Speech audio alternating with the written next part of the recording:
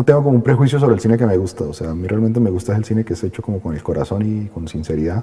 Así se ha hecho como con 200 millones de dólares o con uno.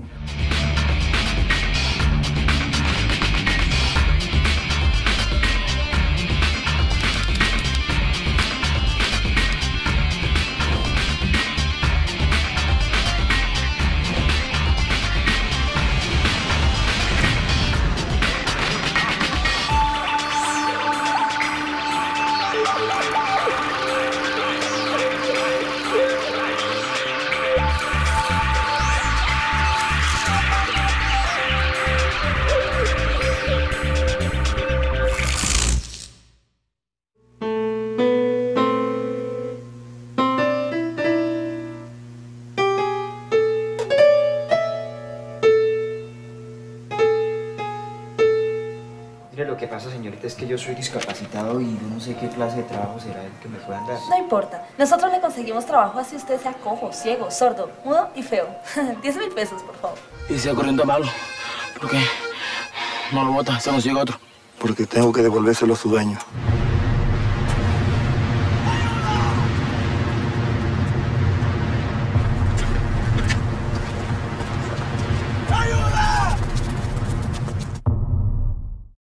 El cine siempre, siempre me interesó, desde muy pequeño.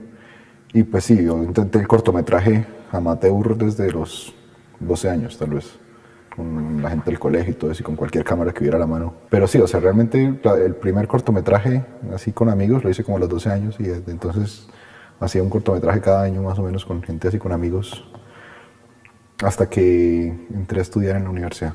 Yo estudié con Ricardo Cortés, con el que dice con tu- también colaboramos muchísimo.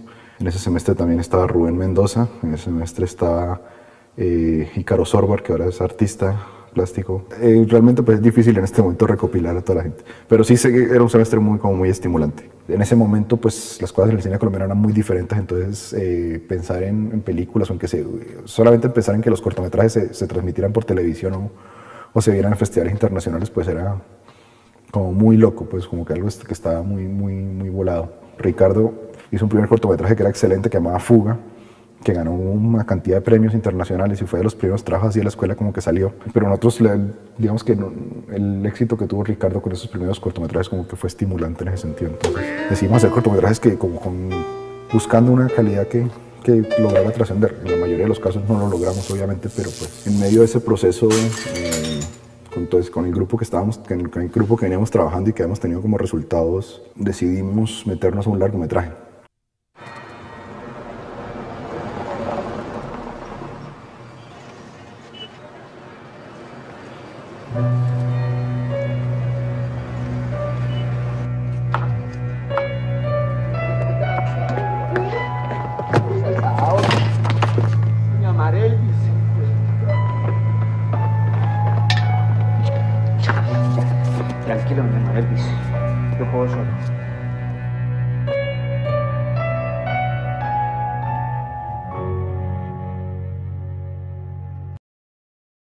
Creativamente la idea viene de, pues es un, eh, yo era un extranjero en Bogotá en esos años del 98, 99, pues estaba como recién llegado y pues me la pasaba mucho tiempo yendo así, caminando por el centro y todo eso.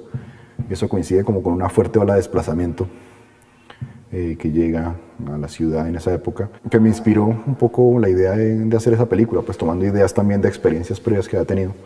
Y bueno, pues y como esa idea de poder hacer un cine sin- con los mínimos recursos, un cine que fuera real, que fuera en la calle, que fuera y que como que reflejara lo que estábamos sintiendo en ese momento, la situación política tan compleja que se vivía en ese momento.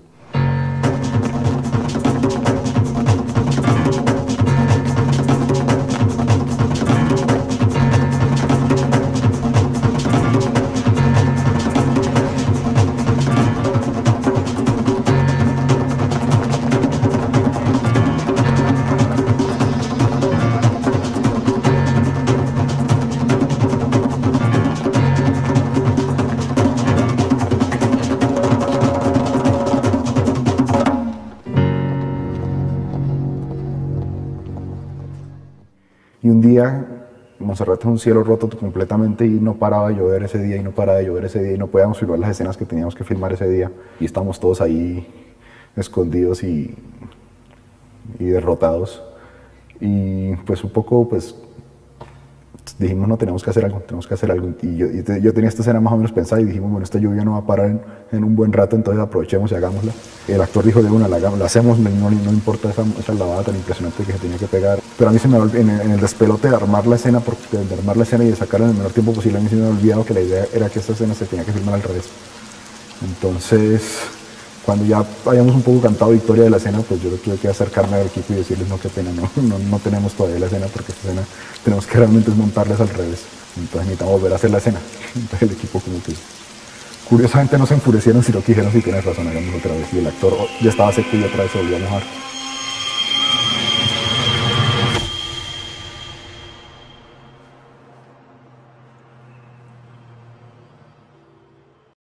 Nosotros empezamos con la idea de que esta era una película que podía salir y que podía llegar lejos, etcétera, pero al final de la película estábamos completamente desilusionados. Pensábamos que con que esto lo pasaran en un festival de esos de sin formato que hacen en el Parque Nacional ya, eso era mucho. Entonces, en busca de un lugar para continuar esa edición, le pedimos ayuda a Jaime Osorio, pero Jaime sí cree un poco en el proyecto y se, y se mete en el proyecto a terminarlo.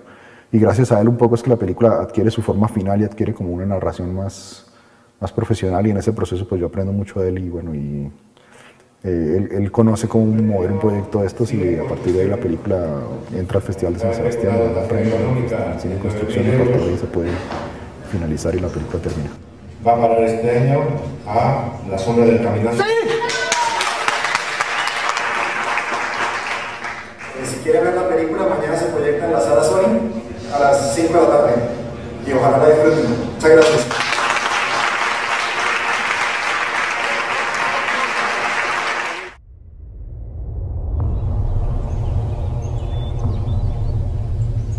La historia de ese acordeón, donde tú lo ves, es que el maestro de Ignacio se lo ganó al diablo en una piquería.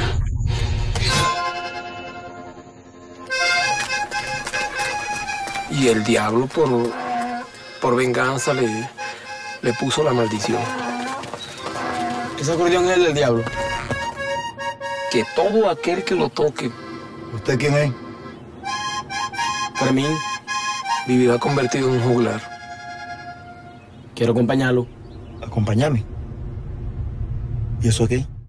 Los viajes del viento era un proyecto muy, muy grande, muy ambicioso, entonces eh, reunir todo su financiamiento y desarrollarlo creativamente pues tomó bastante tiempo. Al principio parecía imposible, pues yo, y yo durante mucho tiempo pensé que era imposible, pero cuando lentamente se iban dando las cosas, iban saliendo los apoyos y la coproducción, etcétera, se iba cerrando, eh, decidimos no tanto tomarlo como, o sea, tomarlo un poco como una aventura, como vivirlo un poco como una aventura con el equipo, vamos a ver si vamos a ser capaces de terminar este rodaje, solamente de terminarlo. Ahí para adelante Dios proveerá. Orientosi.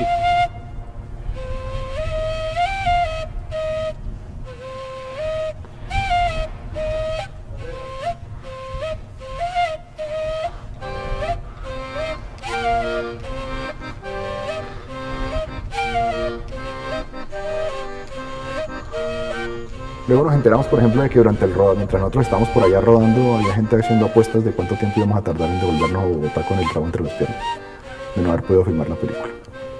Eh, porque realmente todo el mundo decía esto es una locura. Gente del medio, etc. Y, sí, o sea, realmente que la apuesta no hubiera salido hubiera sido que la película no existiera. Y eso fue, fue muy probable, o sea, fue por poco realmente que la película no se... Uno, algo tan sencillo como una lluvia en la mitad del rodaje hubiera matado la película. Entonces, sí, era, era todo por el todo. Y pues sí, el hecho de que la película exista ya. Y si no nos podemos quejar, todo ha salido muy bien hasta el momento. Te vas a matar por ese acordeón.